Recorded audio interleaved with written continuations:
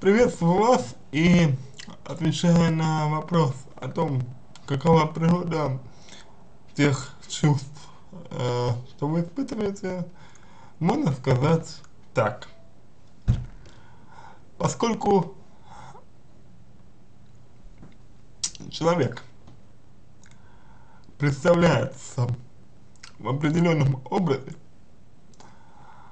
поскольку человек выполняет определенную деятельность, причем деятельность профессиональную, и преследует э, в своей деятельности определенную цель, не проявляя при этом практически ничего личного, э, ничего своего, а лишь стараясь действовать в сфере профессиональной, то вы э,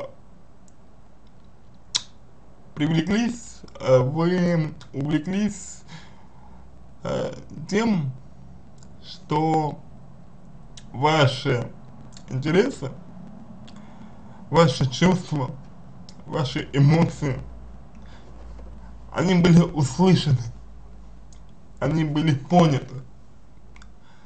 Так случилось, что вы почувствовали себя а, наиболее узнанной, вас узнали, вас прочувствовали. Одна из а, задач психолога это прочувствовать своего клиента, то есть понять его эмоции, понять его страхи, понять его чувства, переживания, чтобы иметь возможность ему помочь. И вот это ощущение, ощущение, что вас поняли, оно, видимо, у вас очень сильно было. А что на это повлияло? Сказать так сложно, потому что, может быть, ваше эмоциональное состояние может быть э, проблема, которая у вас есть, э, или несколько проблем. Э, может быть отсутствие такого понимания. То есть на протяжении всей жизни своей вы не ощущали вот того, что вас стремятся понять. А здесь именно это люди делают. Они пытаются вас понять. И э, в данном случае по отношению к человеку вы ощутили наибольшую степень понимания. И безусловно, это то, что вам сейчас нужно. Вам нужно понимание, вам нужно тепло, э, вам нужна забота, вам нужна направленность на ваш интерес. И потому, говоря о природе чувств, э, следует отметить, что симпатия, безусловно, сама по себе истина. То есть, э, абсолютно нормально симпатизировать человеку. Вам будет нравиться, как происходит работа, каков подход, какая методика, манера подачи решений и так далее. У вас это может вызывать симпатию. И это нормально. Вот недаром говорят, что э, даже там самый хороший специалист, э, психолог, может просто не подойти кому-то. А вам, видимо, очень даже хорошо э, подошел тот подход.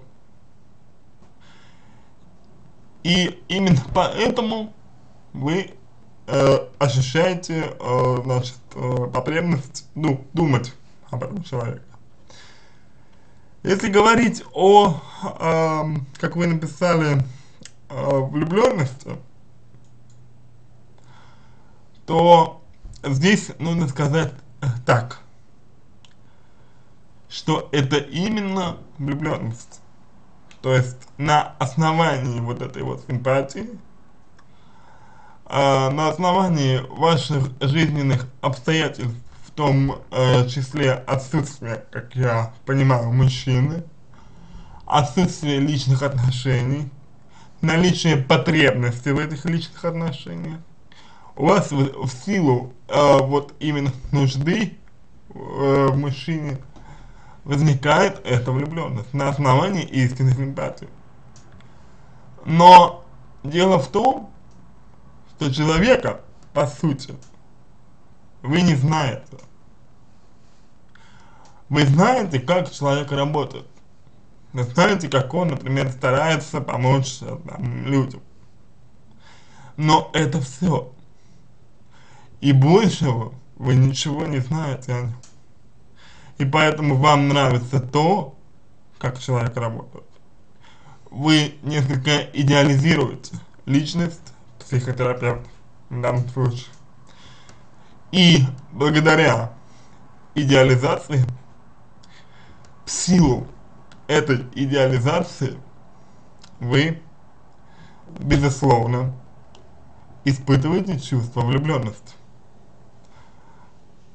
Если чисто теоретически предположить, что вы пообщаетесь ближе и убедитесь в том, что психотерапевт такой же человек, что у него есть свои недостатки, как у любого человека, свои страхи, как и у любого человека, свои переживания, как и у любого человека, и свои проблемы, то влюбленность, скорее всего, у вас пропадет, исчезнет.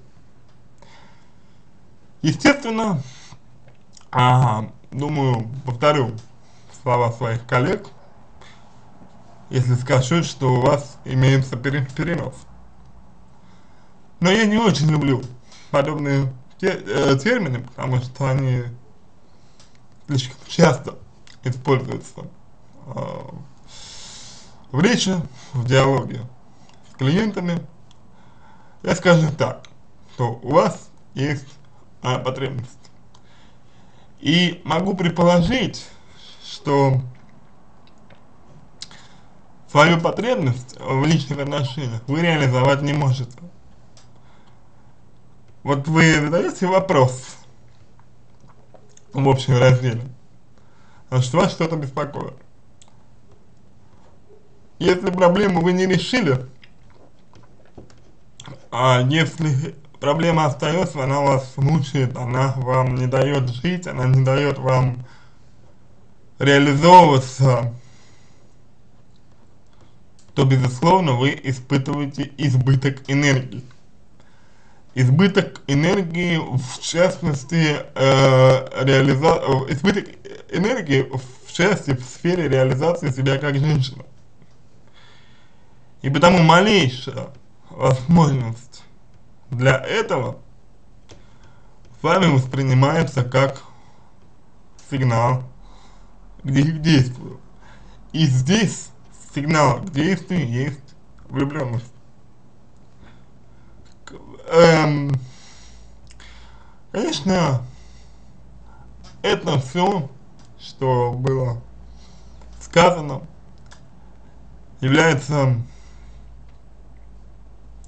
следствием интеллектуальной деятельности, следствием разума.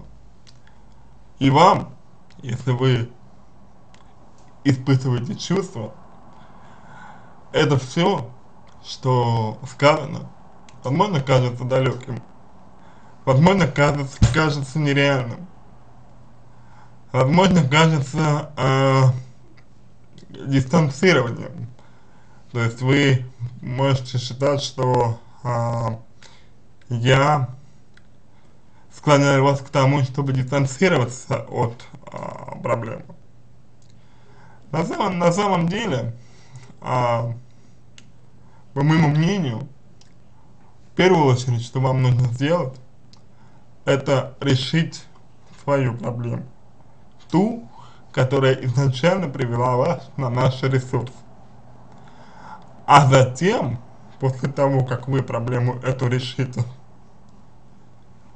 вы станете перед выбором. Вот проблему решили, посмотрели еще раз на человека и оценили свои чувства. Если они по-прежнему есть,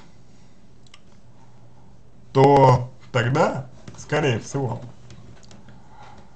вам очень, э, вам нужно будет это как-то закончить. То есть, э, завершить, вот, значит, э, может быть, в одностороннем порядке, э, чувственно-эмоциональное э, влечение к человеку. Завершить так, чтобы оно не осталось с вами, чтобы оно в дальнейшем не мешало вам жить, чтобы вы отпустили эту ситуацию, чтобы вы смогли построить отношения с мужчиной, и чтобы вы обрели счастье. И, к сожалению, вашу проблему э, не может решить человек, о котором вы говорите. Потому что при наличии чувств к, к нему вы не сможете воспринимать его как специалиста, а будете видеть его через призму своих эмоций. Но после того, как ваша проблема, изначально проблема, будет решена, вот тогда можно с этим человеком поговорить, чтобы для вас завершить этот этап в жизни, закончить его и начать новый. Потому что это лично ваше переживание должно быть выражено. И пока вы не поговорите с э, объектом этого переживания, оно не будет завершено в достаточной степени. Но поскольку первичная была проблема, а не э, данное чувство, сперва нужно решить проблему. На этом все, надеюсь, что помог вам. Если какие-то вопросы остались, обращайтесь в личку, помогу. Если вам мой ответ понравился, сделайте его лучшим, пожалуйста, буду благодарен. Пока, желаю вам всего доброго.